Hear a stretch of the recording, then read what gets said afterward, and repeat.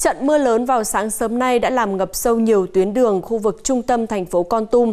Từ 6 đến 7 giờ sáng nay thì nhiều tuyến đường như là Trần Hưng Đạo, Bà Triệu, Phan Đình Phùng, Lê Hồng Phong vân vân ở thành phố Con Tum đã bị ngập, có điểm ngập sâu gần 1 mét. Phương tiện lưu thông trên các tuyến đường này gặp nhiều khó khăn, thậm chí là có nhiều phương tiện chết máy.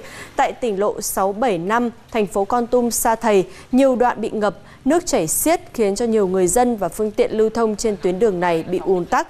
Nước ngập cũng khiến nhiều hộ gia đình phải sử dụng tấm chắn trước cửa để tránh nước tràn vào nhà.